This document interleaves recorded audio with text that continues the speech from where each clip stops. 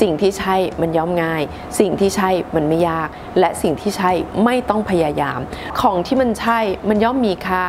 และของที่มีค่ามันไม่ต้องพยายาม วันนี้เราทำตัวมีค่าหรือยัง และเราทำตัวมีค่ากับความรักของเราหรือยัง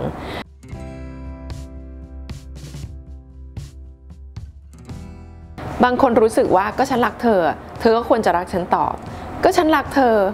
ฉันก็ทุ่มเทไปกับเธอ แต่อีกคนนึงบอกว่าแล้วยังไงก็เธอรักฉันแต่ฉันไม่ได้รักเธอแล้วมันจะยังไง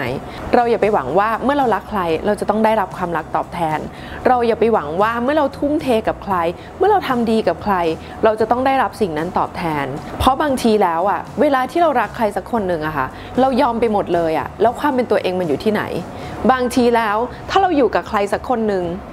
แล้วความเห็นของเราอะ่ะ มันเป็นความเห็นที่มันดูเล็กไปหมดเลยอะ่ะ มันใช้ไม่ได้เลย อะไรที่เกี่ยวกับเขามันดูยิ่งใหญ่ทั้งนั้น ถ้าเราอยู่กับใครแล้วเราตัวเล็ก จนเรามองค่าตัวเองไม่เห็นเลยนะคะ ถอยออกมาเถอะ เพราะของที่มันใช่มันย่อมมีค่า และของที่มีค่ามันไม่ต้องพยายาม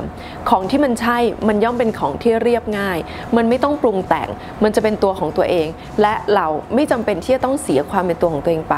ถ้าเมื่อไหร่ก็ตามค่ะ ที่เราจะต้องเสียความเป็นตัวของตัวเองไป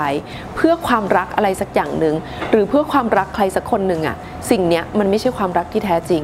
เพราะอะไรก็ตาม ถ้าเราทำตัวง่ายจนเกินไป จนไม่มีค่าในตัวเองแล้ว หรือไม่มีคุณค่าในตัวเองเลยอะค่ะ ความรักที่เราได้กลับมา มันเป็นความรักที่มันไม่มีคุณค่าเช่นกัน มันเป็นความรักที่มันไม่ยั่งยืนเช่นกัน เพราะมันเป็นความรักที่มีพื้นฐานมาจากความง่ายหรือมาจากการที่เขาอะไม่ได้เห็นค่าในตัวเรา เพราะฉะนั้นถ้าเราเห็นค่าของตัวเองค่ะ เราจะทำตัวอย่างมีค่า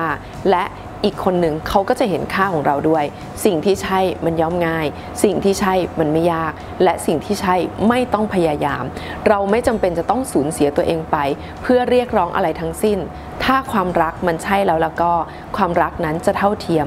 ความรักนั้นจะแคร์ซึ่งกันและกัน ความรักนั้นจะเห็นอกเห็นใจกัน และความรักนั้นจะทนุถนอมมิตรภาพซึ่งกันและกัน ขอให้ความรักทุกคนยืนยาวนานนิรันดร สินเสมอและเจอกัน เออภัยรักษ์